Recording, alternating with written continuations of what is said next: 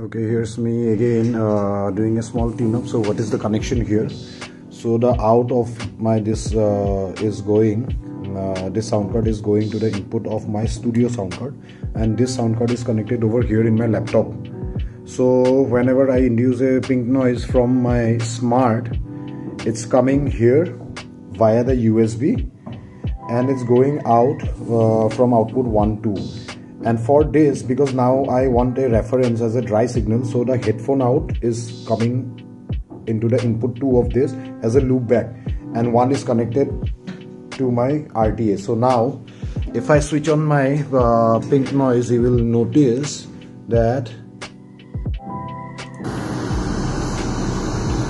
and if I go to my spectrum manager so this is my dry signal uh, coming into my reference. So it's dry. So even if I do some EQ here in the DAW for example this. It won't affect my reference but if I look into my input section the mic so So whatever I do in the DAW, the mic will capture that.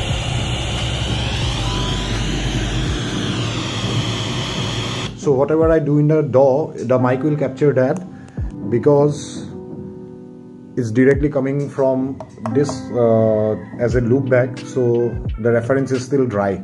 So I'll get a I should get a pretty neat reference. So how I'll use it is like uh, I'll be creating a master EQ so the master EQ will come in my stereo output of the master plugin. So that I can create a EQ according to my room so my studio monitor behaves accordingly. So I get a flatter response. So uh, let's see uh, what is the response right now that we are getting in my room?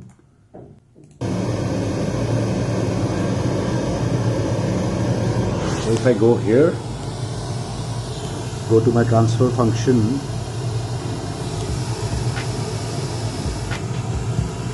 So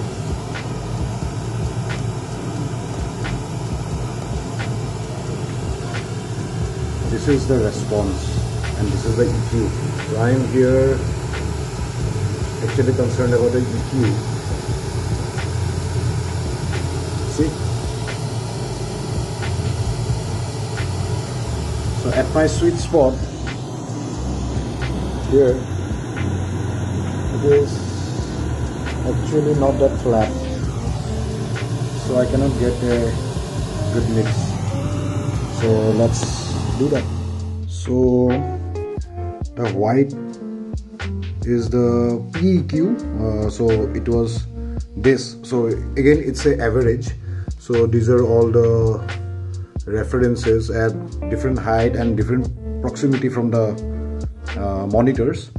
So this was pretty much how the white was. Uh, that's like how my room was actually and this is the average after EQ again these are three references with proximity and different height in respect to my ears how I move along.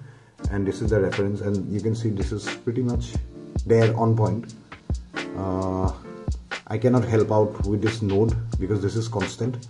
In whatever readings I was taking you can see it's a constant thing so I cannot add anything over here. But so I just left it. It's okay. Uh, that much uh, of reference I can still make out. So this is the EQ pretty aggressive. So I was actually trying with the SSL strip and all uh, of waves but those are very sensitive and uh, the logic EQ is very aggressive. So I hate it again I love it also in regards of this situation because I wanted three number of band with the Q filter. So after this EQ this is the pink one is my response. So what I'll do is like I'll save it as my save channel strip setting. I'll save it as my master EQ for my this room. So whenever I do my mix here. So I'll just switch it on and when I bounce the track I'll just bypass it. So that much uh, that will help me get a flatter response in this room at least. Hope you enjoyed it. Thank you